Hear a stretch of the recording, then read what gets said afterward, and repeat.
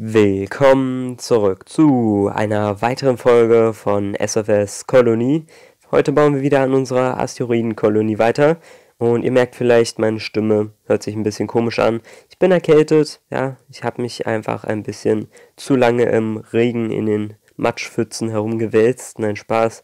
Ähm, ich habe mich einfach ein bisschen erkältet, ja. Aber davon lassen wir uns nicht aufhalten. Ansonsten geht es mir eigentlich gut, ja. Ähm, aber halt die Stimme leidet halt ein bisschen darunter. Also quäle ich mich hier durch die 5 Minuten Audioaufnahmen, die ich hier eigentlich mache. Und dann ähm, hat sich das. Der Rest ist ja Zeitraffer. Also hier haben wir unsere Avalon 4B. Tatsächlich diesmal die 150 Tonnen Variante. Und wir haben auch keine externen Treibstofftanks, ähm, um das quasi nochmal extra aufzufüllen.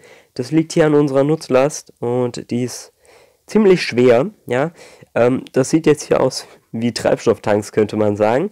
Ähm, an sich sind es auch Treibstofftanks, es sind Erdsilos, ja.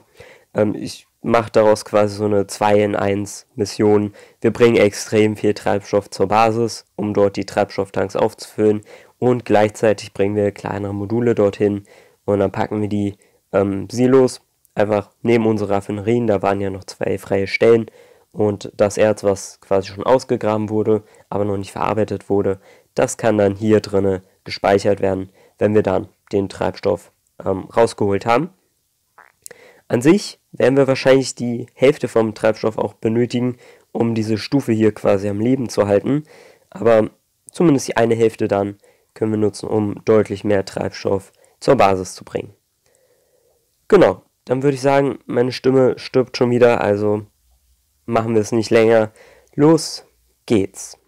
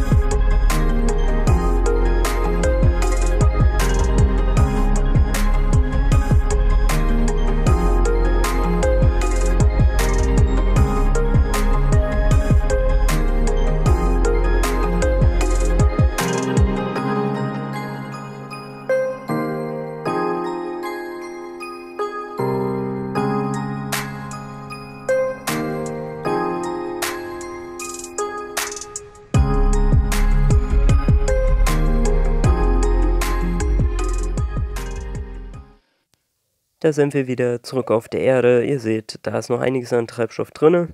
Dann können wir das Ganze einfach mal einsammeln. Ähm, das Landebein hier ist fast weggebrannt. Ja. Ähm, das ist ziemlich heiß geworden. Dann sammeln wir mal ein. Keine Erfolge, aber dafür eine ganze Menge Missionserfolge.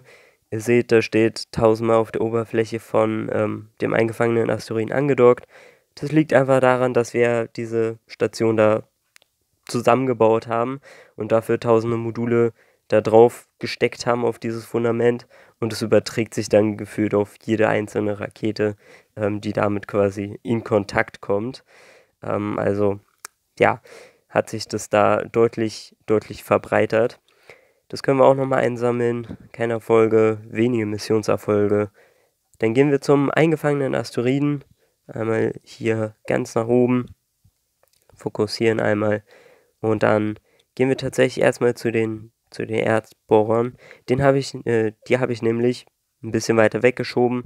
Ihr erinnert euch an letzte Folge, da gab es ja so ein bisschen Problem. Und da habe ich jetzt hier so ein bisschen, ja, Sicherheitsabstand quasi dazwischen gepackt, damit sie weit genug von der Basis entfernt sind. Und dann haben wir hier unsere ähm, Treibstoff-Erdsilos. Äh, die haben wir dann da drüber gepackt. Also einfach da angedockt, direkt neben die Raffinerien, ähm, haben dort ihren Platz gefunden, haben dann den Treibstoff genommen und haben das da drüber gepackt. Und ihr seht, vom Design her sieht das ja genauso aus wie bei der Raffinerie. Also von der Farbe passt es auf jeden Fall. Und die Treibstofftanks hier, die sind praktisch komplett voll. Wir haben hier 94%. Wir könnten natürlich von hier das da reinfüllen. An sich würden wir es ja dann voll machen. Aber dann wäre hier der Treibstofftank halb leer und das wollen wir ja natürlich nicht. Also ähm, wenn wir das später benutzen wollen, dann wollen wir natürlich dort vollen Treibstofftank haben. Also lassen wir das so, wie es jetzt gerade ist. Genau.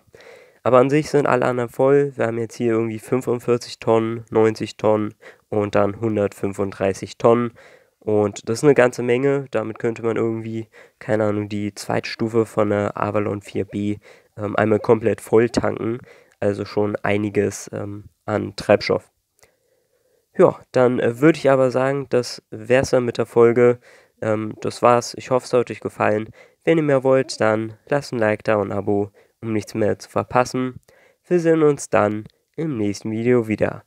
Tschüss.